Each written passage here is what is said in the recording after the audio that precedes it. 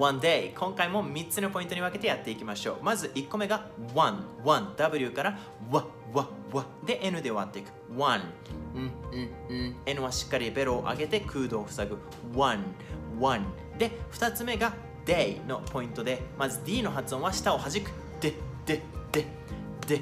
でその後に AY の発音が A A A って発音になるのでで A A こんなイメージで Day Day Day OK ですか？じゃあこれをつなげるときにまあポイント3つ目なんですがリンキングで One で N で下上がりますよね。空洞塞いでそのまま D につなげる。